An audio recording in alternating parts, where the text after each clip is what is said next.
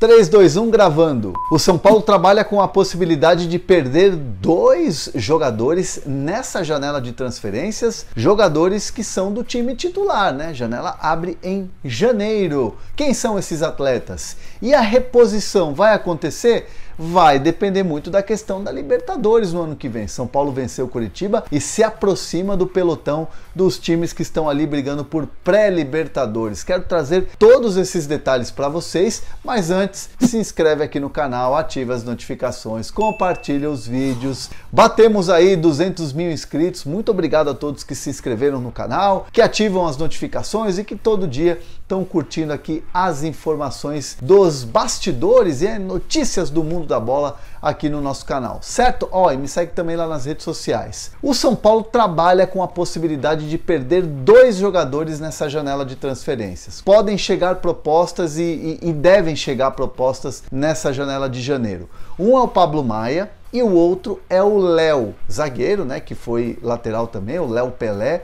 É, são dois jogadores que o São Paulo já tem no entendimento de bastidor, no entendimento interno, nas conversas da diretoria, que são jogadores que vão receber propostas né, da Europa na janela. O Pablo Maia, evidentemente, que é um jogador que se destaca muito e vem se destacando na posição, muito jovem, é um jogador que tem muita personalidade, né? Ouço muito no clube que é o Pablo Maia é um cara que é profissional extremo, trabalha muito sério, muito focado e apesar de ser muito jovem. E é um jogador que tem o estilo de jogo, né? Aquele volante é, que o futebol europeu gosta de vir aqui buscar na América do Sul, né? Seja em outros países aqui da América do Sul ou também é, o futebol brasileiro, sem dúvida nenhuma. Então, por exemplo, é, o Fulham time da Inglaterra que disputa a Premier League monitora a situação do Pablo Maia. Já aconteceram alguns contatos né, do time inglês com representantes, com intermediários. São Paulo ainda não recebeu nenhum tipo de proposta oficial, mas sabe que existem clubes é, ingleses, entre eles o Fulham,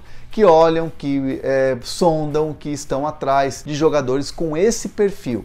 Então São Paulo entende que dificilmente é, o Pablo Maia vai ficar sem receber uma oferta oficial quando a janela de transferências abrir. Então, assim, é uma situação que vai depender muito do atleta, vai depender muito da negociação. Então, o São Paulo entende que esse é um jogador que, olha, é muito grande a possibilidade de perder em janeiro. O outro é o Léo. A gente já vem falando, vem noticiando aqui no canal que o Léo é um jogador que também desperta interesse do futebol francês, do futebol europeu e também de times ricos do Catar. Ou seja, o Léo é um jogador que já teve uma possibilidade de sair na última janela, o São Paulo decidiu segurar, até porque estava disputando campeonatos, enfim, jogos importantes. Agora a situação é diferente e o São Paulo também tem a informação de que clubes devem vir para contratar, para tentar tirar o Léo nessa janela de janeiro. Ou seja, o Léo, que é um jogador que atua pela lateral esquerda, né, como é, apareceu no futebol jogando pela lateral esquerda, no São Paulo se transformou num zagueiro, um zagueiro com saída de bola, um zagueiro que tem é, uma condição técnica e física é, boas, né? Então, assim, o Léo é um jogador que tem esse perfil Europa, esse perfil europeu mais um jovem jogador monitorado por clubes e o São Paulo sabe que deve chegar uma proposta, que vai ser meio que inevitável chegar uma proposta para o Léo quando a janela de transferências realmente estiver aberta e o vai e vem e as negociações começarem a acontecer quando o mercado estiver mais aquecido. Então, São Paulo já trabalha internamente com essa possibilidade de que Léo e Pablo Maia serão jogadores muito difíceis assim de, de segurar chegando uma proposta, porque os clubes olham e olham mesmo. Quero saber comentários de vocês. Liberariam esses dois atletas se chegassem propostas boas para o São Paulo? Quero os comentários aqui e antes de falar de uma possível reposição e o que tem que acontecer para que o São são Paulo tenha condições de ir ao mercado e repor é, possíveis saídas, eu quero falar da Centauro, porque a Centauro continua dando aquela moral, aquela moral para a torcida do Flamengo que tem muitos motivos para comemorar. Aliás, né? Claro, Flamengo campeão da Copa do Brasil. Então usa lá Flamengo 20, que é o cupom de desconto que vai te dar 20% de desconto na compra dos produtos do Flamengo. Então continua valendo esse cupom de desconto Flamengo20 para você usar e abusar. E claro, aproveitar o fato de você estar tá feliz demais porque seu time foi campeão da Copa do Brasil num jogaço contra o Corinthians, beleza? Ah, mas eu quero usar Centauro, quero comprar outros produtos e tal. Usa lá o QR Code ou o link na descrição para você ter o Hernan10, o cupom que te dá 10% de desconto na compra dos produtos, beleza? Aqui na Centauro, não interessa se o time é campeão, se não é, o importante é que você sempre vai ter desconto. Bom, continuando aqui a questão da, da notícia do São Paulo, se o São Paulo tiver mesmo a possibilidade de perder o Léo, zagueiro, e também o Pablo Maia, São Paulo evidentemente gostaria de ir ao mercado para reposição. Só que para o São Paulo ter possibilidade de, de contratar, e, e, ultimamente o São Paulo tem contratado assim,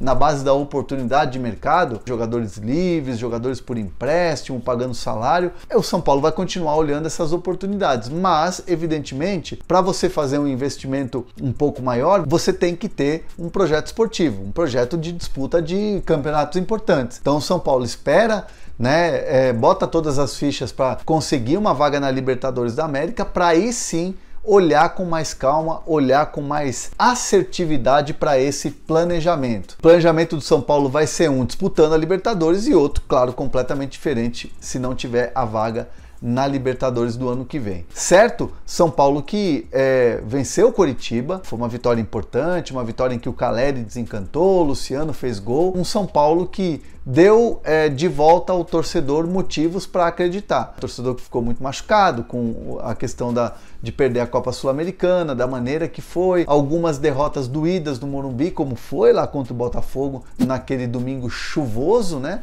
Então, assim, é um São Paulo que começa a olhar a expectativa de Libertadores da América, de pré-Libertadores, mas sempre tem que ir com muita calma, afinal de contas, é um São Paulo ainda que tenta se reconstruir, tenta ali no finalzinho da temporada se reconstruir para conseguir essa vaga na Libertadores do ano que vem, certo? Deixa aqui seus comentários, essa questão do planejamento que a gente já vem falando, que vai ser um com Libertadores, outro sem Libertadores. Fala sobre as saídas aí possíveis de Pablo Maia e também do Léo, zagueiro. Deixa seus comentários. Se você não se inscreveu no canal, se inscreve, ativa as notificações.